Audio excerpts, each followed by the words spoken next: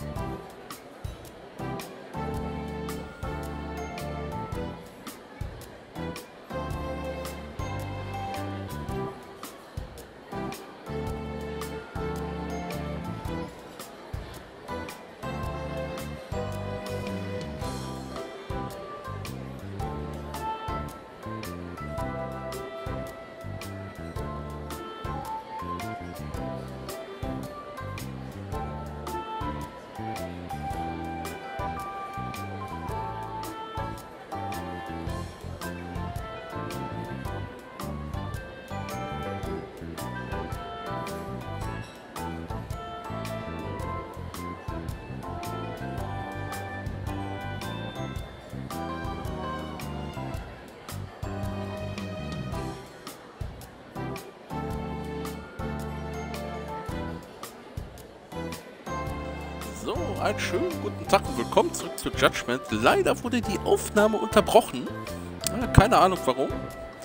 Äh, und äh, während dieses äh, Bewerbung, Übungsbewerbungsgespräch von Tesokino Sun.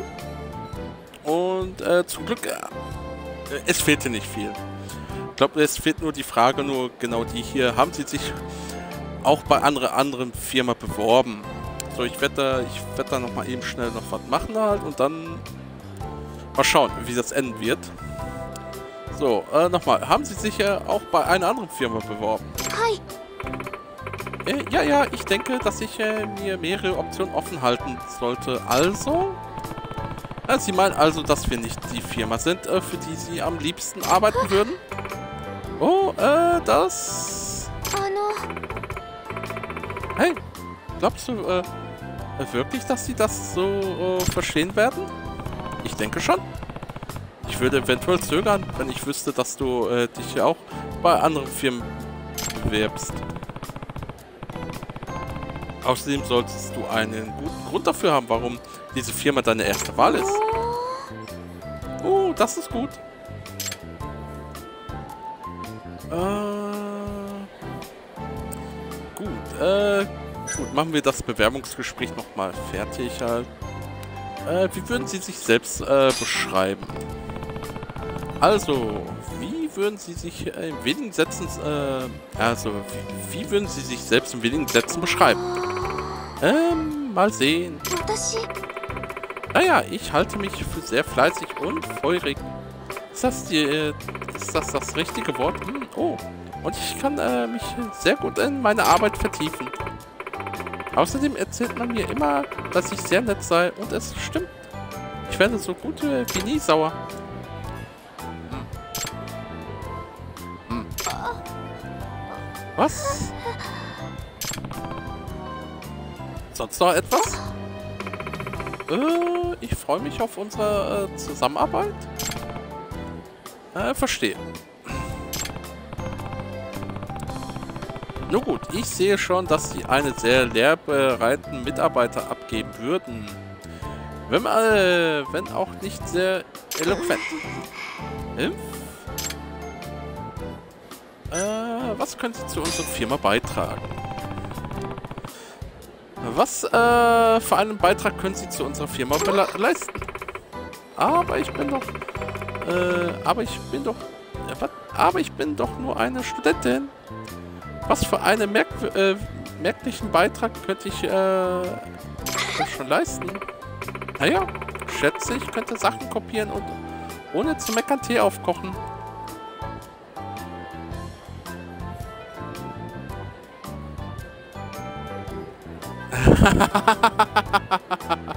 okay, sie wegen ihrer Unentschlossenheit tadeln?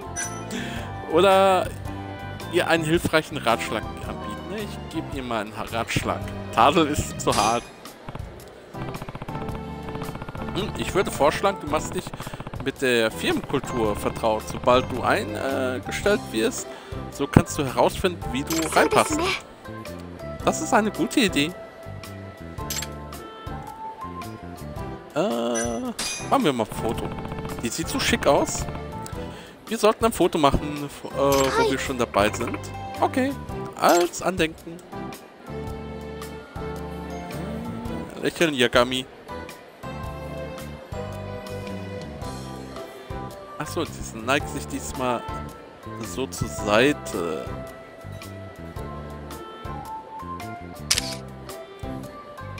So, das sieht doch gut aus. Ah, sieht das okay, äh, sieht das okay aus? Äh, sieht gut aus. Sieht gut aus, würde ich sagen. Ich schäme mich ja schon ein bisschen. Ah, ich schicke dir das später zu. Sie nach ihrem Verlobten fragen. Ich frage mich, was dein zukünftiger vor dieser Situation hält. Hm? Keine Ahnung. Ich habe ihn schon ewig nicht mehr gesehen. Das letzte Mal im ersten Jahr der Mittelschule. Okay. Weißt du denn, ob er bei dieser Sache mitmacht oder ziehen seine Eltern die Fäden? Hm, hm. Im Gegensatz zu mir scheint, scheint er nichts dagegen zu haben. Vielleicht tut er es äh, nur für seine Familie. Ich bin sicher, er hätte nichts dagegen, dich zu heiraten. Ich bin sicher, für ihn ist es auch hart. Genau. So eine Zwangsheirat halt. Ich kann mir nicht vorstellen, dass er für ihn einfach ist, sich nicht aussuchen zu dürfen, äh, wen man heiratet. Oh ja, besonders wenn er eine Niete für mich abkriegt, abgekriegt hat. Oh Mann, sie hat wirklich überhaupt kein Selbstvertrauen. Ähm, wie war er so in der Mittelschule? Er war kein schlechter Schüler. Er war still, er mochte kleine Tiere und Pflanzen. Außerdem hat er eine Menge gelesen.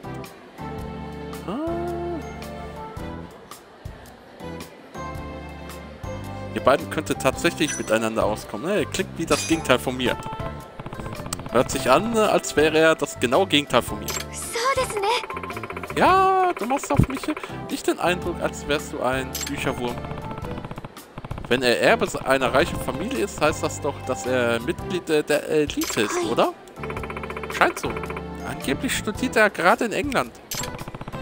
Ah, ach, er studiert in England. Hm. Muss toll sein. Naja, er kriegt eine gute Ausbildung, aber dafür eine schreckliche Ehe. Teil der Elite zu sein, ist nicht so toll, wie alle tun. Äh, ganz ehrlich, ich bin etwas neidisch, okay? Irgendwie tut mir der Kerl leid. Na, ja, der Kerl tut mir echt leid. Oder? Dass er äh, jemanden äh, wie mich heiraten muss? Das habe ich nicht gemeint. Und das weißt du. So.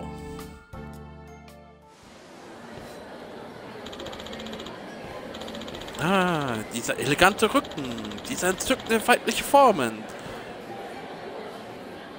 Täuschen die zehn äh, Jahre der Trennung etwa meine äh, Augen?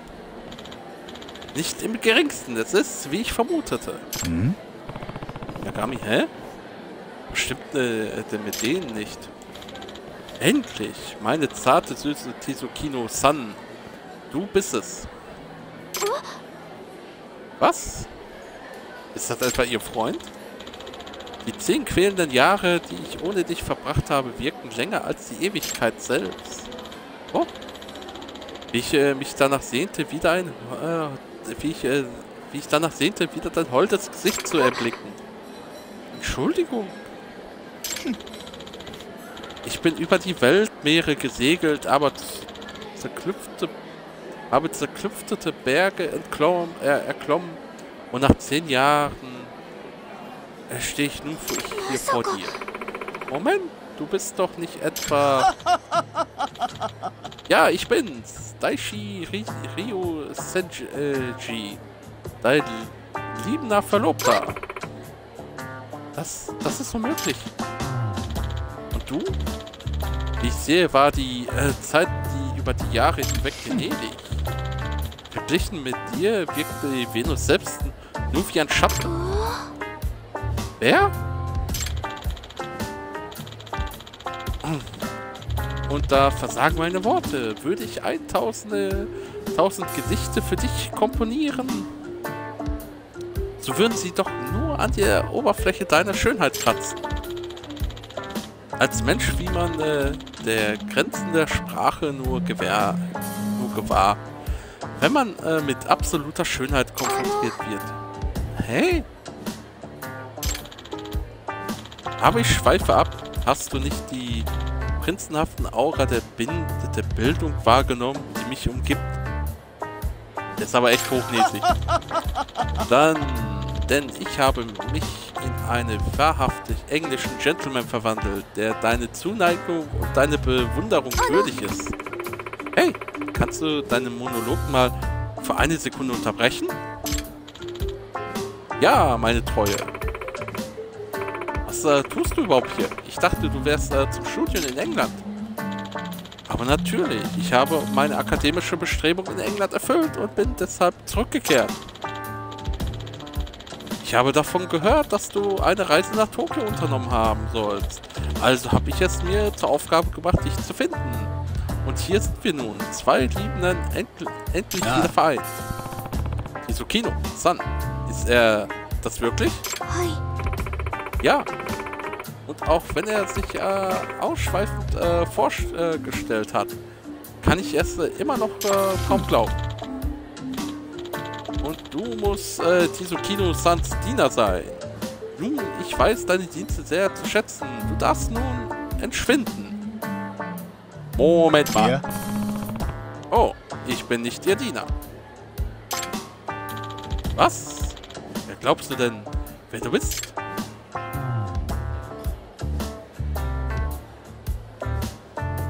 Boah, das ist jetzt gemein. äh, ich könnte sagen, ich bin ein Freund von ihr oder ich bin ihr Freund.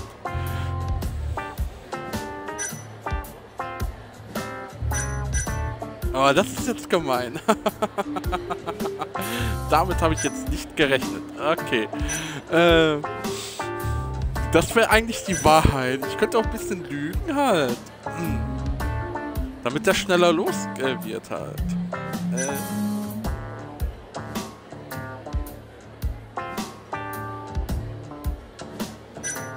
ich, ich sag mal so, ich bin, ich bin ihr Freund. Ich bin ihr Freund. Was? Yagami-san? Hm. Ich kannst du mit deiner Unsinn nicht verwirren, Tisukino-san würde sich niemals mit einem Kriecher wie ja. dir einlassen. Ich will dich ja nicht von deinem hohen Host, äh, Rost holen, aber wir zwei hatten eigentlich gerade unterhalten. Hm. Dann beantworte mir folgendes. Wie viel verdienst du? Was ist mit deinen Anlagen? Ein paar Münzen und sch ein schimmliges Brot, nehme ich mhm. an. Warum sollte ich dir sowas erzählen?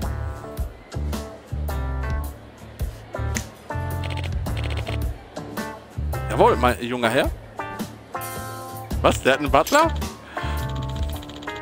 Äh, Yukiwa, äh, Yukikawa, mein Bankkonto in der Schweiz bitte. Sei so nett und beeindrucke diesen Bauern mit dieser, mit dessen Bilanz. Aber gewiss doch, die japanischen Yen umgerechnet besitzt sie etwa 200 Millionen Yen, äh, Sir. Zwei, äh, 200 Millionen Yen? Hahaha, hast du das gehört? Diese bescheidene Summe ist nur das, was ich für unsere Hochzeit auf der Seite gelegt habe.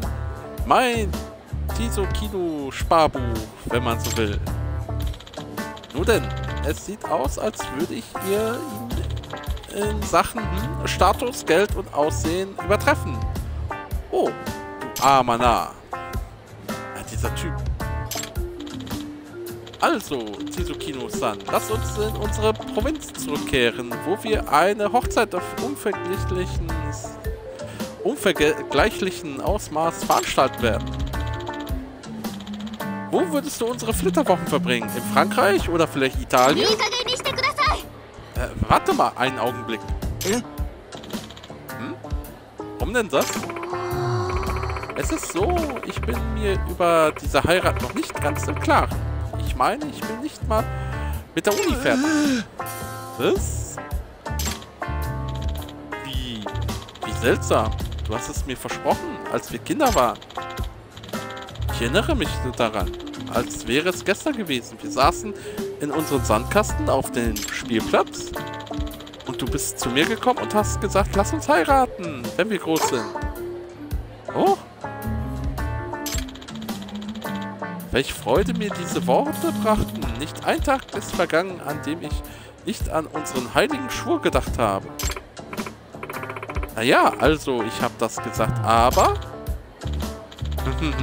Aha, ich verstehe, was hier, hier vor sich geht. Du bist bemüht, die Gefühle diesen Bauern hier nicht zu verletzen. Diese Umsicht, du bist äh, wahrlich eine Göttin. Eigentlich wollten wir nur eine, einen Tee zusammen trinken. Das ist also nicht gerade der richtige Moment für all das. Oh, nein, wie unhöflich von mir. Ein wahrer englischer Gentleman würde niemals ein Tier im, Wa äh, im Wege stehen. Es scheint, als wäre mein Timing ungünstig gewesen. Nur dann, ich werde zurückkehren. Ach ja, doch, bevor ich gehe, möchte ich noch etwas loswerden. Du ärmlicher Bauer. Mhm. Was willst du? Vergiss bloß nicht, dass ich Tizukino Sans Verlobter bin. Niemals sonst. Ja? Nun gut. Lass uns gehen. Yukikawa. Wie Sie wünschen, junger Herr.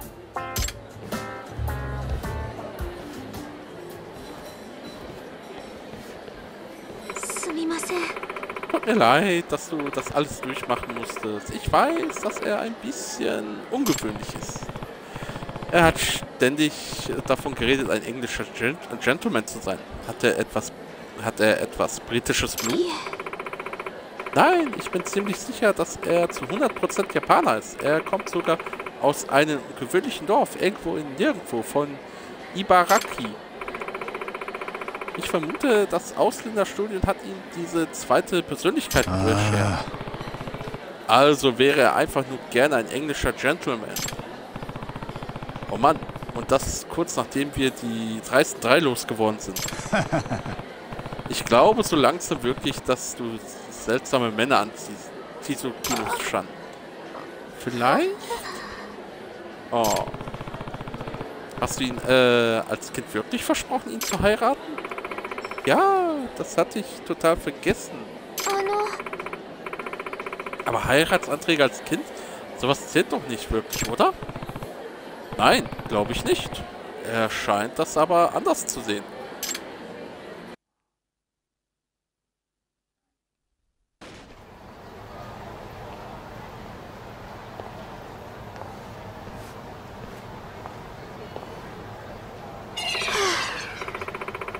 Ah, puh, das Bewerbungsgespräch hat wirklich reingehauen. Ich bin total kaputt.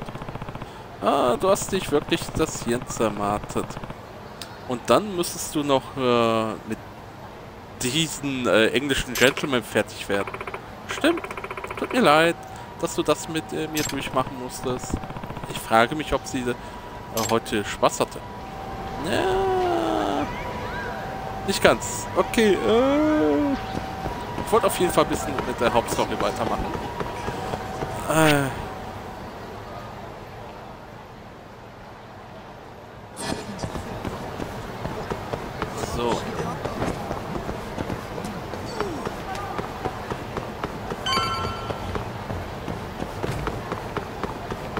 ein bisschen Story muss auch noch sein, weil sonst stehe ich wieder auf dem Schlauch und dann heißt es wieder, hey, bei dir ist ja kein Fortschritt zu machen. Du bist nur am Frauen So, einmal ein bisschen was zu essen.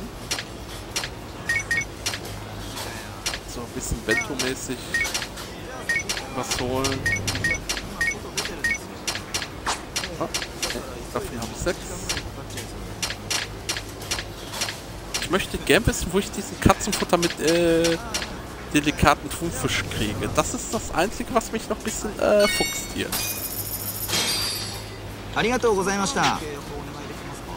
Vielen Dank, mein Herr. So. Okay, dann mal einmal kurz äh, Anwaltskanzlei Gender gehen, weil wegen Ayabe, dem Fall, muss auch noch geklärt werden. 矢上さんお待ちしてましたすぐ綾部刑事と接見できますタクシーで行きましょう Ah, okay. Äh, mal schauen. 綾部刑事の逮捕、もう街で噂になってるみたいです Achso. 綾部刑事の逮捕 Okay, die sagt nichts anderes. おうすぐカムロ署に行くんだろ Oder würde ich das doch am besten nächstes Mal machen halt. Weil jetzt habe ich hier Ho Hoshiro dabei. Ich glaube, das mache ich doch nächstes Mal. Äh, dann würde ich sagen, wegen der kleinen Unterbrechung... Oh, Kickstarter. Neue Projekte. Okay, dritt ultimativer Dyson Club äh, Strategieleitfaden. okay, Darts dauert auch noch was. Ah, 300.000. Okay. Erweiterung ist auch noch da. Wie viel gibt es denn von den Kickstartern? Das würde mich auch noch interessieren. Ach, jetzt kann ich äh, da nicht mehr auf die Nachrichten antworten. Das ist auch schlecht. Okay. Nee, aber... Genau, wenn ich schon mal hier bin, mache ich hier einen Cut, dann geht es nächstes Mal direkt weiter äh, mit der Hauptstory. Trotz der kleinen Unterbrechung jetzt, äh, naja, war ja mitten in Probebewerbungsgespräch, aber sonst alles gut gegangen. Äh, Würde ich mal sagen, war es das auch wieder fürs Erstes. Wie gesagt, nächstes Mal geht es dann weiter mit der Hauptstory. Und mal schauen, was Ayabe zu erzählen hat. Ansonsten war es das auch wieder fürs Erstes. Ich hoffe, es hat euch gefallen, das Ganze. Und ich wünsche euch noch einen schönen Tag noch. Bis bald und tschüss.